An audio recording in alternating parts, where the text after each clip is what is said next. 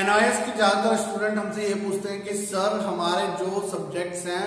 वो other board से क्या एनआईएस बोर्ड में ट्रांसफ़र हो सकते हैं? और अगर ट्रांसफ़र हो सकते हैं तो कितने सब्जेक्ट ट्रांसफ़र हो सकते हैं? ये क्वेश्चन एक नॉर्मल क्वेश्चन है, एक जनरल क्वेश्चन है, जो लोग एनआईएस में बहुत टाइम से जुड़े हुए हैं, उनके लिए तो एक छोटा सा क्वेश्चन है, लेकिन जो अभी जिनको एनआईएस की जानकारी नहीं है, उनके लिए एक बहुत बड़ा क्वेश्चन और एक महत्वपूर्ण क्वेश्चन है ये। तो इस क्वेश्चन की पूरी हम आज विश्लेषण करेंगे और बात करेंगे इसमें कि कितने सब्जेक्ट हम ट्रांसफ़र कर सकते हैं और क्या हम ट्रांसफ़र कर भी सकते हैं या नहीं कर सकते हैं, या फिर किन सब्जेक्ट को हम ट्रांसफ़र कर सकते हैं। तो चलिए स्टूडेंट स्टार्ट करते हैं। नमस्कार दोस्तों, मैं हूँ दीपक सिंह गुसाई और मैं हूँ एनआईएस एक्सपर्ट और हमारे इस बीसीआईसी गुरुजी चैनल में छोटी से छोटी जानकारी और बड़ी से बड़ी अपडेट एनआईएस की हम आप तक लेकर आते रहते हैं। आप में से कोई भी हो जो पहली बार हमारे इस वीडियो में आया हो तो जल्दी से हमारे चैनल को सब्सक्राइब करिए लाइक करिए, ताकि इस तरीके के जो भी वीडियोज़ आए वो आप तक मिल सके और आप रहे एनआईएस की सारी ऑथेंटिक न्यूज़ से अपडेट तो जी हाँ स्टूडेंट आज मैं बात करने जा रहा हूँ कि अगर हम किसी अदर बोर्ड्स में पास हुए हैं या फिर कुछ सब्जेक्ट में फेल हुए हैं और जिन सब्जेक्ट में पास हुए हैं, उन सब्जेक्ट को हम अपने एनवाइस बोर्ड में ट्रांसफ़र करना चाहते हैं तो क्या वो ट्रांसफ़र हो सकता है या नहीं? तो स्टूडेंट यहाँ पर मैं सबसे पहले आपको बताना चाहता हूँ, अगर आप कोई ऐसे स्टूडेंट हो जिसने क्लास टेंथ या ट्वेल्थ में एग्ज़ाम दिए हैं और आप उनमें से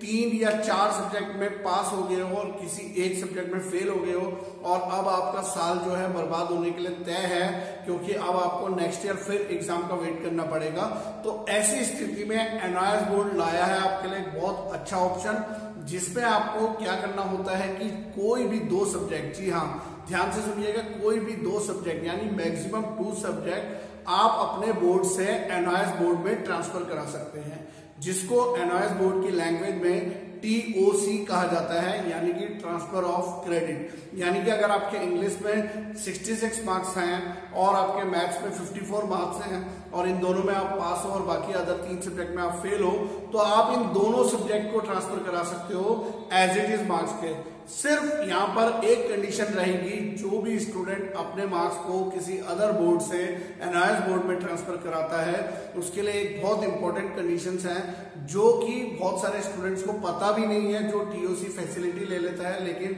इस कंडीशन के बारे में नहीं बताया तो मैं उनको बताना चाहता हूँ। अगर आप टीओसी ले रहे हो, यानी ट्रांसफ़र ऑफ़ क्रेडिट ले रहे हो तो सबसे पहले तो ध्यान रखिए कि आप सिर्फ़ मैक्सिमम दो ही सब्जेक्ट का ट्रांसफ़र ले सकते हो, चाहे आप चार सब्जेक्ट में भी पास क्यों ना हो। आपके मैक्सिमम दो ही सब्जेक्ट ट्रांसफ़र होंगे। टीओसी लेते हो तो बनती है कि जो भी आपकी पिछले बोर्ड की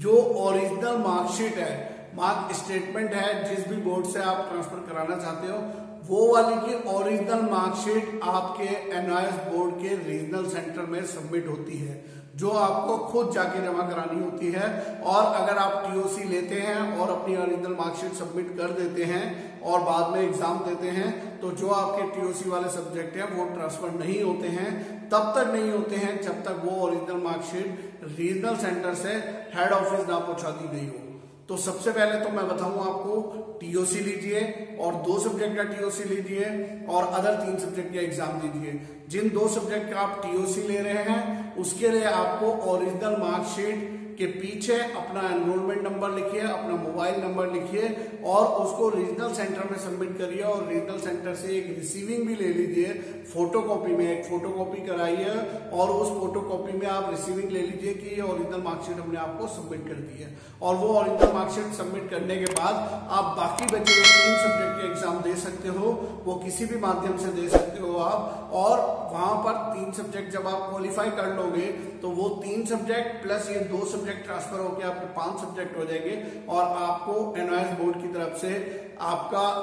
स्टेटमेंट जारी कर दी जाएगी मार्क्स स्टेटमेंट साथ साथ में पासिंग सर्टिफिकेट आपको दे दी जाएगा और साथ ही साथ में माइग्रेशन सर्टिफिकेट तो ये तीनों सर्टिफिकेट आपको मिल सकते हैं अगर आप टीओसी का फैसिलिटी लेते हो। तो मेरा आज का ये शॉर्ट वीडियो था टीओसी के बारे में। तो कैसा लगा आपको? कमेंट बॉक्स में ज़रूर लिखिएगा और इसके बावजूद भी आपको कोई और वीडियो चाहिए, किसी और जानकारी के लिए वीडियो बनाना चाहते हैं तो हमसे कमेंट बॉक्स में मेंशन करिए, मैं जल्दी वो वीडियो लेकर आऊँगा। और इस तरीके की वीडियो को पाने के लिए हमारे, इस वीडियो को, इस चैनल को लाइक करिए, सब्सक्राइब करिए, ताकि जो है हम नए नए वीडियो लेकर आते